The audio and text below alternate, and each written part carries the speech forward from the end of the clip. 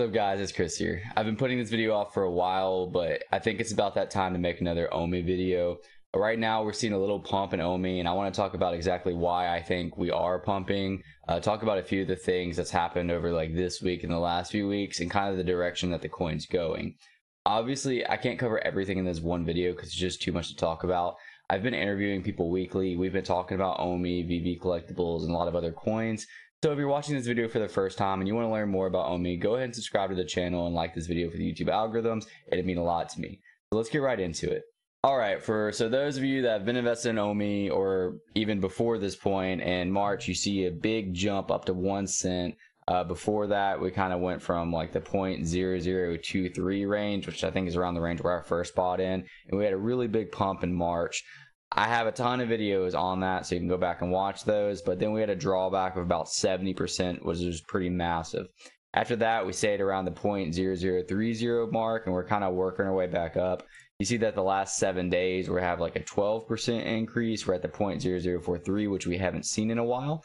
I see a lot of the TA guys really, you know, talking highly about this. In this video specifically, I'm going to go over some of the fundamentals and news on why I think this is rising. But more importantly, at the end of the video, I have something that is more important than I believe any of this.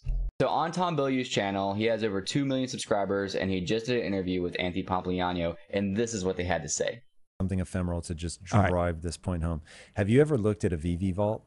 VeVe vault? No. Yeah. What is okay, that? Okay, this is so crazy. So VeVe is a collectibles company that's okay. partnered with like DC, Marvel to okay. do, but their their NFTs look like actual collectibles. So it looks like a toy, it looks like a statue, like it it's they're going out of their way to sort of literally just digitize the collectibles okay. industry but their brilliant move, and I'm still dazzled by this, is that they gave their users the ability to create these. It, they've made it right now. I'm sure future iterations won't, but it looks like a vault. So you're going through a vault door and then you're on the inside, but it's just a virtual space for you to put, display all the things you've collected. Around the same time of Anthony Pompliano saying that about VeVe, we had this article released about from Coin Bureau that's actually really solid. It's how and where to buy OMI and be ready for the pump. It basically just talks about NFTs, the OMI token. I really recommend giving it a read. It does a better job than most articles and even like some YouTube videos I've seen on the coin and on the overview of VeVe.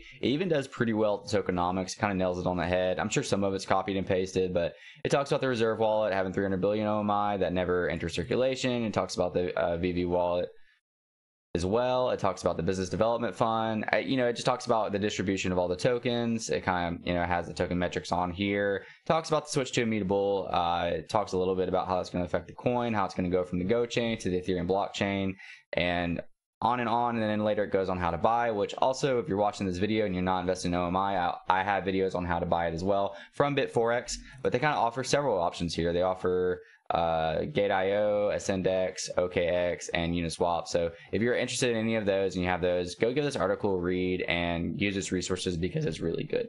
All right, so all that news is great, and it's going to cause a pump, and it's going to allow more people to come buy tokens, which is going to make the price go up, and hopefully it's going to just keep on being adopted.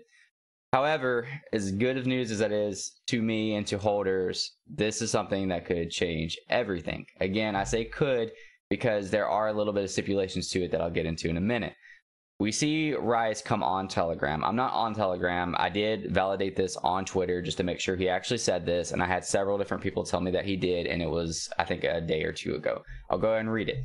So basically, somebody was asking about the reserve wallet, which I have been harping about on Twitter, on the Discord, uh, all over the place because the reserve wallet's huge and there's lack of need for it. And Foster Hilt has a very good video on it that you need to go and watch on just the reserve wallet. But anyways, Rise says, once we migrate, we can consider the other options, but I really don't think people look at this the right way. We're literally burning hundreds of millions of tokens every week now. More than 13 billion are gone forever. With multiple drops per week, so many unannounced brands, and new products hitting all the time, really won't take long to take a rip into that reserve wallet, especially when the VeVerse opens up. I disagree. Uh, obviously, Rise is way smarter than me and knows way more.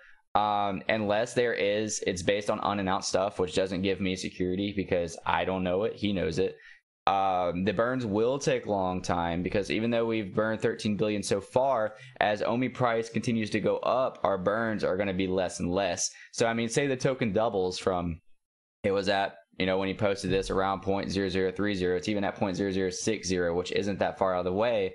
Where then we burn now 7.5 billion instead of 13 billion.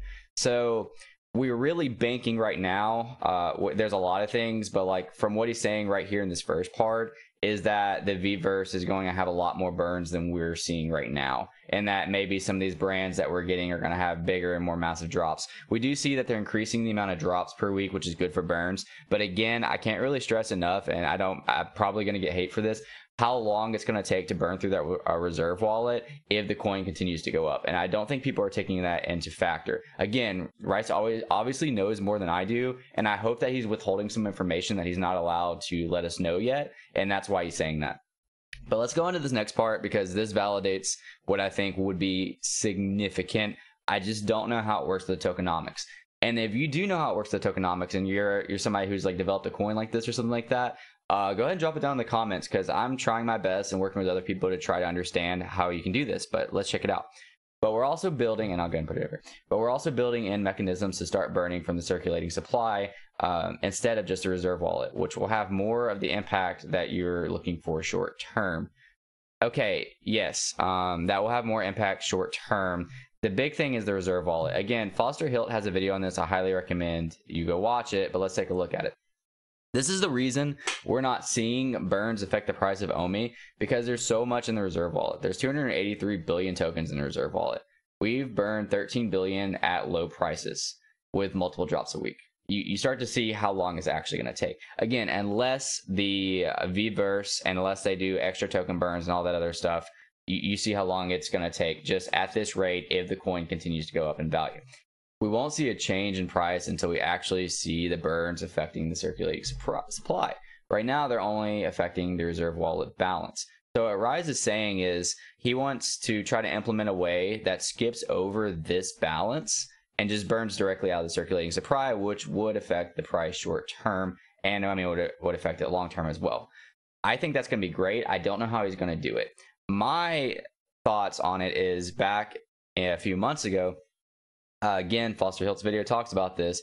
Uh, Rice said that the whole point of this reserve wallet balance being so high is because they expected less holders.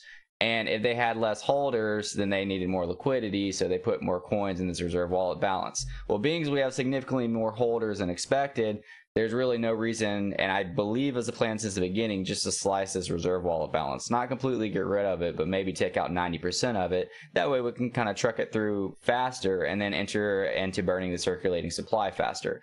So I'm not really sure on what their purpose is on keeping this reserve wallet balance so high after the switch to immutable uh, if it's just not needed.